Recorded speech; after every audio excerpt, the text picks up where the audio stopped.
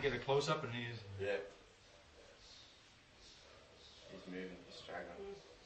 Did you want to stand at the front and I'll stand at the back holding the end? That'll be right. It'll sit down in a it'll wrap around me. Mm-hmm. the death grip. Just let me know. No, that's right. That's right.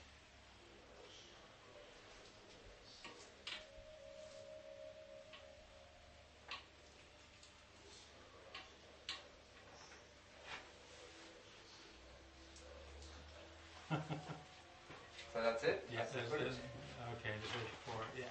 There's not enough set too much. Just let me get out before we get to release the head. Oh, yes, darling. Can I? You can stay. If you can stay tucked tucked in the corner there, it'd be great. Just for a moment. I'm just trying to get some close-ups of the, the lump in his belly and so on.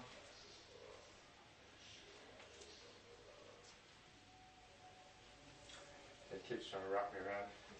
That's right.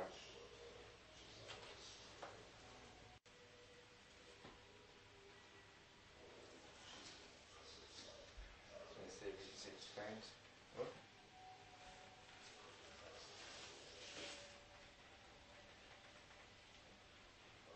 Give me a wrap, buddy.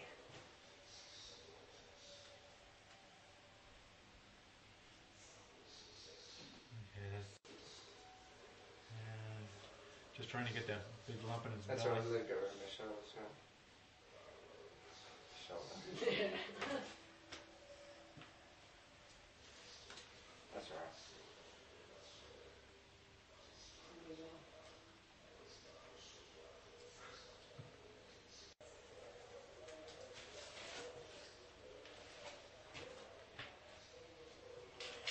That's great. Yeah, that's good.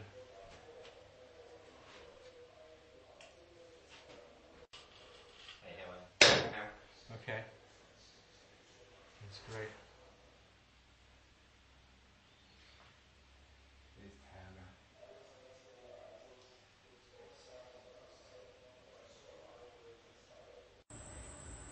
hammer. Uh, my Stuart Douglas, and uh, I work at the Australian Venom Zoo. And we have a large uh, scrub python, uh, Amethystine python. Uh, basically, it was removed uh, under a circumstance that uh, a dog it had eaten, and it's about five meters long.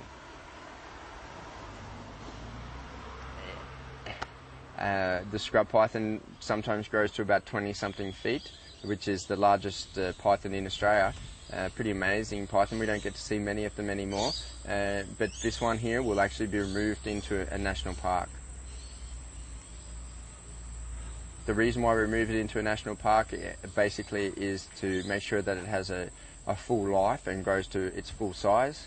Um, also, with roads around, uh, a lot of these large snakes are actually disappearing from the from the wild. We uh, caught the snake in Kuranda. It's a property that we've been to call to a number of like well number of times, and uh, basically uh, this snake uh, ate uh, the guinea pigs and then it ate the dog.